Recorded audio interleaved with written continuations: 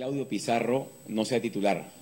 ¿Le sorprendería este cambio en Perú teniendo en cuenta que es un delantero que viene bien en la Bundesliga pero no tiene tantos, tantos hombres fuera del país? Y la segunda, ¿se le complica más preparar un partido frente a una selección que va a presentar muchos cambios? Respeto a la inclusión de futbolistas de Perú, es responsabilidad exclusiva del entrenador de Perú, muy buen entrenador, un hombre muy experiente, y ni por asomo opinaría sobre eso. Y el hecho de que,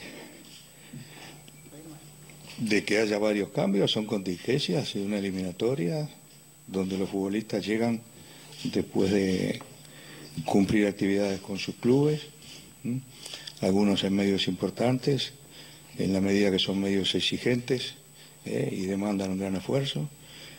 Este, esos medios, generalmente europeos, están en el mes más difícil, se acerca la finalización de la temporada y se sufre mucho eso. Ni que hablar que los que juegan en equipos que tienen doble actividad, actividad internacional.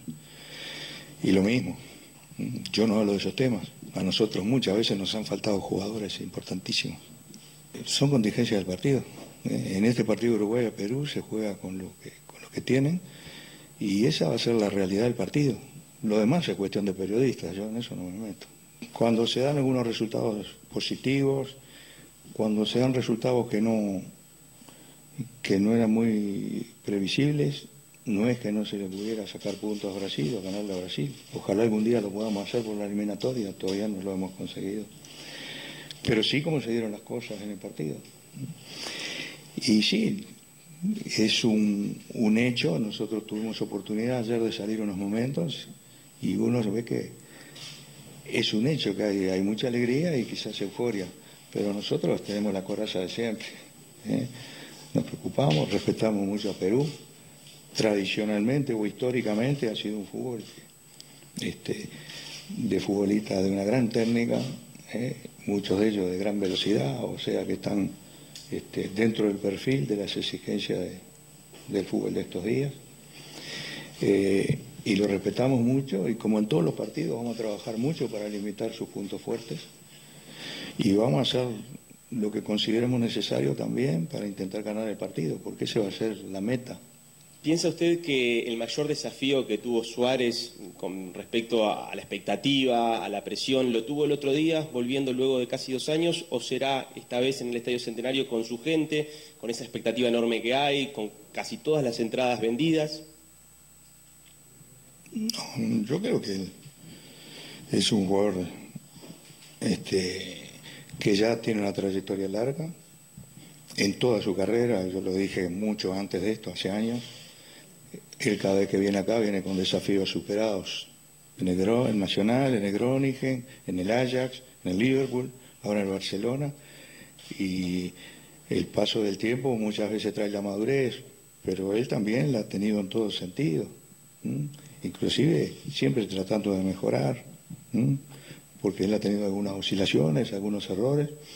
Este, entonces se le ve como muy maduro. Y creo que todos los partidos que vengan lo van a encontrar en esa tesitura. Para él, como para todos los futbolistas de la selección, el venir acá es muy significativo, hay una adhesión muy grande. ¿eh? Eh, y eso es lo que le da impulso, está bien físicamente, está bien mentalmente, y tiene un potencial que esperemos que, que aparezca en el partido. También, como decíamos cuando nos referíamos al equipo, para él también cabe que, va a haber futbolistas que lo van a estar controlando y que pueden tener una gran noche.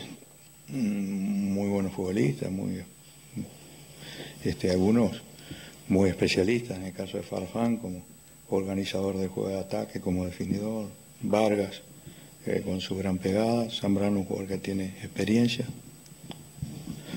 Pero ¿qué me puede decir usted de los cuatro partidos que tuvimos que jugar sin Cavani sin Suárez? Y ahora sin Godín y Jiménez. en el fútbol no hay que hablar de ausencia. Ya dije que va a jugar Perú contra nosotros. Yo no estoy pensando en, esos futbolistas. No, completamente fuera de mi mente. Estoy pensando en cómo darle a mi equipo, este, vamos a decir, lo que yo considero que, es mejor para este partido, para tratar de ganarlo. Y los rivales que vamos a tener enfrente son los que ponga este, Ricardo Gareca para el día de este partido. Entonces, ninguno de esos futbolistas que usted me nombró van a estar en ese equipo. Entonces, ¿para qué me voy a preocupar? Y ni siquiera este, no siento tener que opinar. Ya le dije, respeto mucho, son jugadores de mucha trayectoria, pero no van a estar para este partido.